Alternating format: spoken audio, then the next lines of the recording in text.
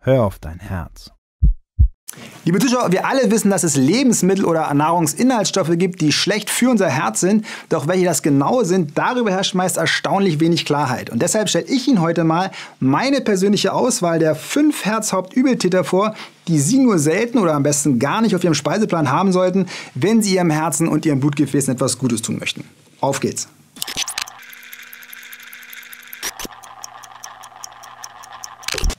Ich fange gleich mal mit dem gesamtgesellschaftlichen Reizthema, nämlich dem Cholesterin an. Denn trotz vieler Verschwörungstheorien wie der viel zitierten Cholesterinlüge ist das böse LDL-Cholesterin als Hauptrisikofaktor für die Arteriosklerose, also die zunehmende Verhärtung, Verkalkung und Verengung unserer Herz-Kranz-Arterien, wissenschaftlich bestens belegt.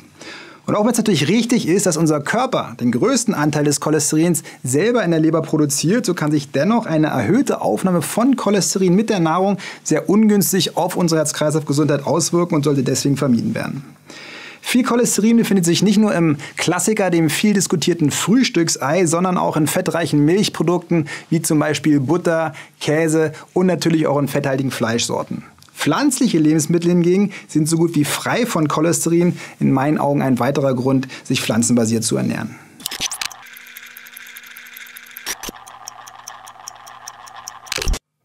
Ein weiterer wirklicher Bad Boy sind aus meiner Sicht, auch wenn ich natürlich weiß, dass es hierzu teils widersprüchliche, auch gerade jüngere Studiendaten und widersprüchliche Meinungen dazu gibt, die gesättigten tierischen Fette bzw. die gesättigten Fettsäuren. Die meisten gesättigten Fettsäuren kommen in tierischen Produkten vor, wie zum Beispiel Sahne, Butter, Käse, Schmalz, aber auch in fetten Fleisch vor.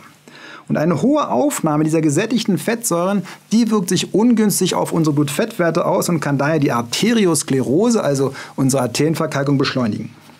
Wenn Sie aber versuchen, Ihre Ernährung auf pflanzliche Produkte und zum Beispiel auch auf Fisch zu konzentrieren, dann reduzieren Sie schon ganz natürlich und ganz automatisch den Gehalt gesättigter Fettsäuren in Ihrer Nahrung.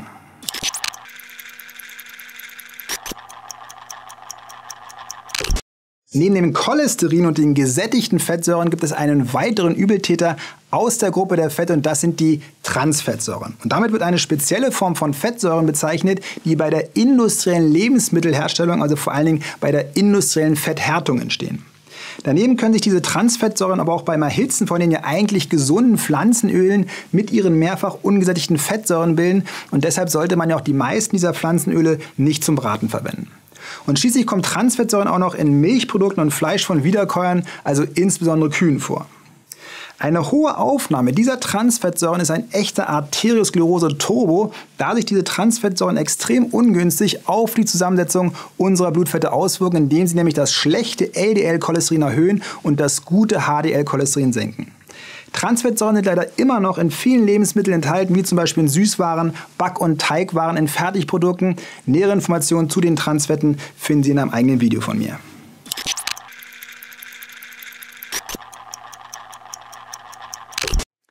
Ein weiteres Reizthema ist natürlich das von vielen so geliebte Fleisch. Und auch wenn ich natürlich weiß, dass ich mir jetzt viele Fleischliebhaber hier zum Feind mache, ein häufiger Verzehr von Fleisch wirkt sich leider auf gleich mehrere Weisen ungünstig auf unsere Gesundheit aus.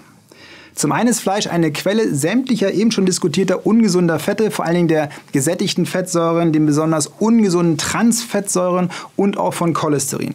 Dazu kommen zusätzliche gesundheitsschädliche Effekte von verarbeiteten Fleischsorten wie Bacon, Würstchen, Salami, Corned Beef oder auch von fleischbasierten Soßen.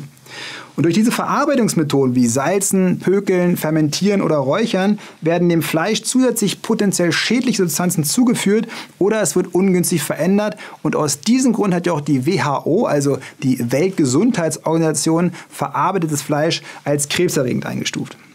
Aus meiner Sicht gibt es also neben den unzähligen ethischen und moralischen Gründen, Stichwort Massentierhaltung, unsägliches Tierleid und Klimakatastrophe, gerade auch aus gesundheitlicher Sicht viele gute Gründe, auf Fleisch zu verzichten oder zumindest den Konsum von Fleisch und insbesondere von verarbeiteten Fleischprodukten drastisch zu reduzieren.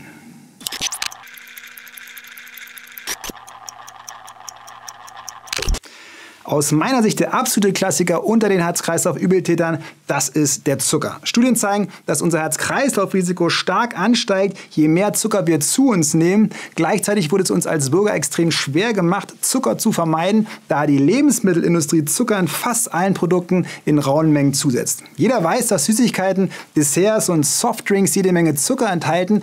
Ein riesiges Problem sind aber vor allen Dingen auch die versteckten Zucker, zum Beispiel in Fertiggerichten, Salatdressings, Soßen und so weiter.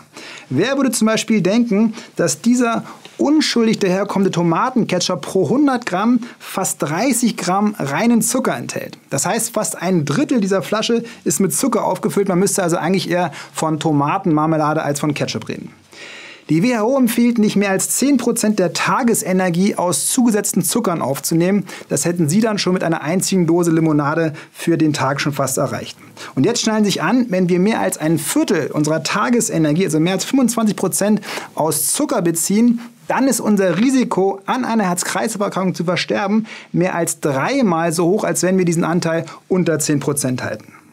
Sie sehen also, die Überzuckerung unserer Gesellschaft ist ein riesiges Problem, für das wir als Gesellschaft noch eine Antwort finden müssen.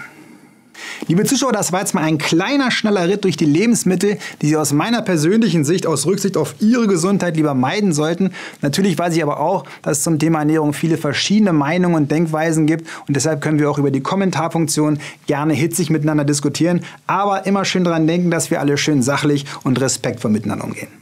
Wenn Ihnen mein Video gefallen hat, dann freue ich mich wie immer über ein bestätigendes Like. Abonnieren Sie meinen YouTube-Kanal, schauen Sie auf meiner Webseite vorbei und ganz, ganz wichtig, bleiben Sie gesund und hören Sie auf Ihr Herz.